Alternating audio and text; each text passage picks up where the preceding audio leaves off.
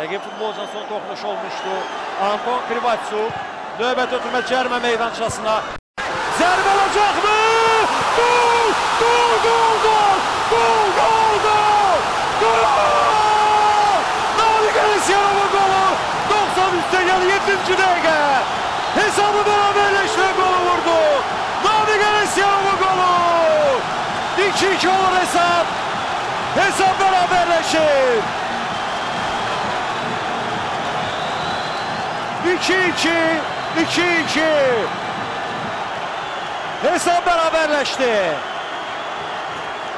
Ve sarı berekere bu arada kapçıya gösterilir. Size bu da azdı.